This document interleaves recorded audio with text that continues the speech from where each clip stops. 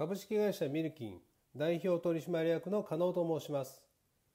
弊社が開発したスマホで見る顕微鏡ミルキンについてご紹介させていただきますのでよろしくお願いいたします。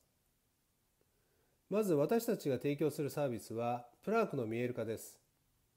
患者さんに見て知って考えていただくことで行動変容につなげ歯周病をゼロにしていきたいと考えております。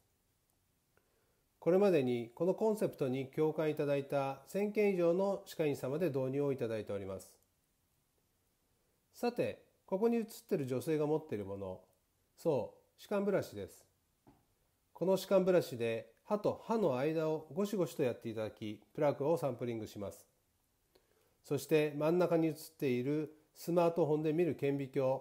その名もミルキンで見ることにより口腔細菌検査が簡単にできます。それではなぜ口腔細菌の見える化が必要なのか詳しく見ていきましょう。その前に簡単にミルキンの構成についてご紹介しましょう。まずプラークなどのサンプル液を乗せる資料ステージ。この部分が工学的にいう対物レンズになります。そして上に出っ張っているのが対物レンズです。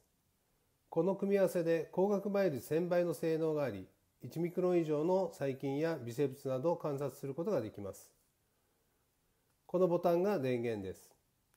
押すと LED が点灯いたします。この下の部分が電源ボックスですが、単三電池2本を使用しております。LED を採用したことにより省電力化を可能にし、電源コードを不要としました。そしてスマートフォンを載せるスマホスタンドになります。スマートフォンを載せた状態がこちらになります。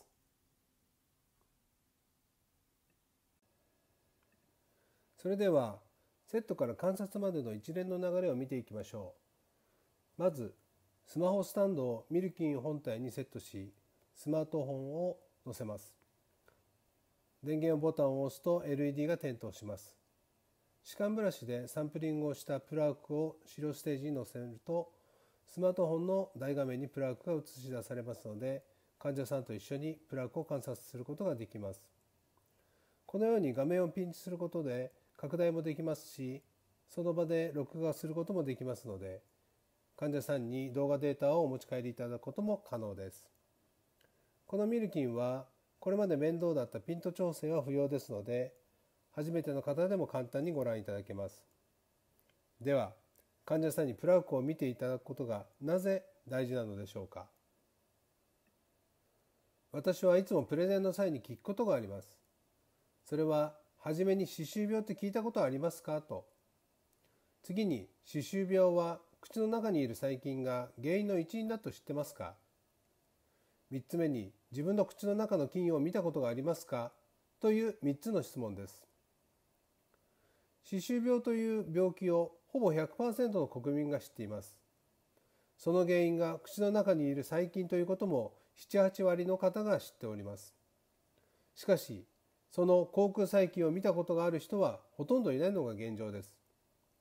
繰り返しになりますが、国民のほとんどが歯周病の原因は口の中の菌が原因と知りながら自分の口の中の細菌を見たことがない。私たちはここに課題があると感じております。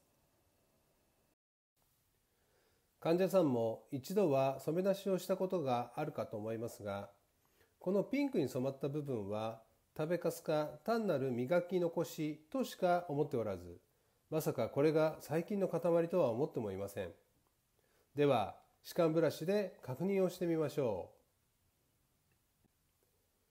う。するとどうでしょうか。うにょうにょ動いているものや細長いものさらには大きな丸い物体などが見えます。たった1本の歯間ブラシの先についたプラークの正体がこれです。このように運動性細菌や防水除菌白血球やプラークの塊などミクロの世界を見える化することができます。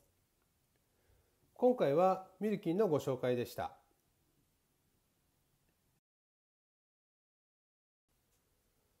次回は患者さんの行動変容についてです。実際に自分のプラークをリアルタイムに見た感想などを紹介したいと思いますので、ぜひご期待ください。今後もこれまでまとめてきたプレゼンやプラークの見える化による情報をアップしていきたいと思いますのでチャンネル登録といいねそれと QR コードからホームページもぜひご覧ください。